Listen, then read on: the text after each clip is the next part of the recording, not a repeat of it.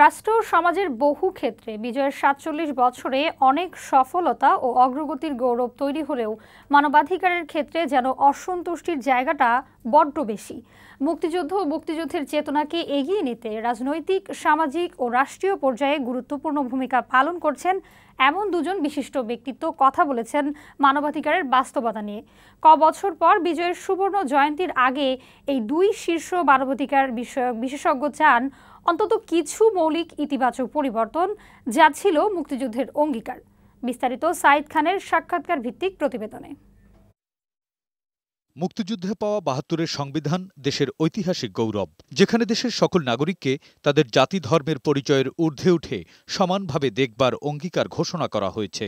কিন্তু বাংলাদেশের বিজয়ের সাতচল্লিশ বছর পূর্তির প্রকালে অঙ্গীকার আর প্রাপ্তির মধ্যে অর্জন ও দূরত্বটা বিশ্লেষণ করলেন দুজন প্রথিতযশা মানবাধিকার বিশেষজ্ঞ। জনগণ মুক্তিযুদ্ধে ঝাঁপিয়ে পড়েছে তিনটি প্রধানতম উদ্দেশ্য সাধনের জন্য।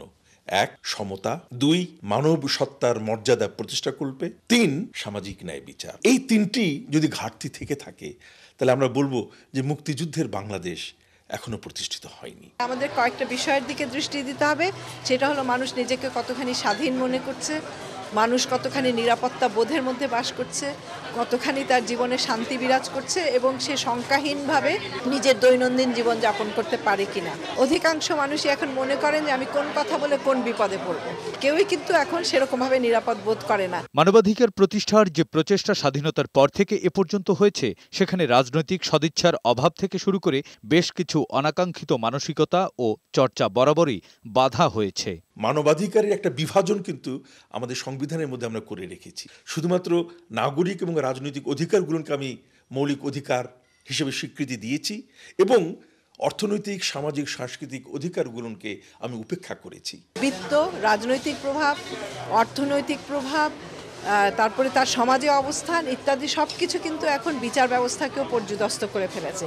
প্রশাসন, পুলিশ সব কিছুই কিন্তু একটা রক্ষণশীল নারী বিদ্বেষী অত্যন্ত আপোষকামী মনোভাবের মধ্যে দিয়ে যাচ্ছে যেটা ভীষণভাবে প্রশ্রয় পাচ্ছে রাজনৈতিক শক্তিগুলির কাছ থেকে। মাত্র কয়েক বছর পর বিজয়ের সুবর্ণ জয়ন্তী উৎসবে মেতে ওঠার আগে এসব অপূর্ণতার অনেকটুকুই পূরণ করা সম্ভব বলে মনে করেন এ বরেণ্য ব্যক্তিত্বরা।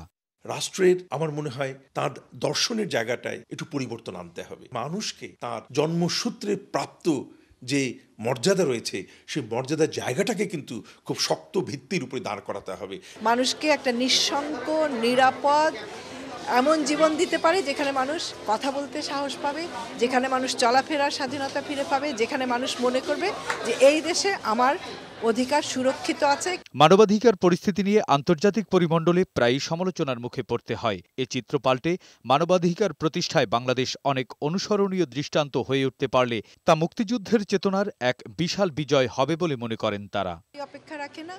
সাইদ খান বৈশাখী সংবাদ ঢাকা।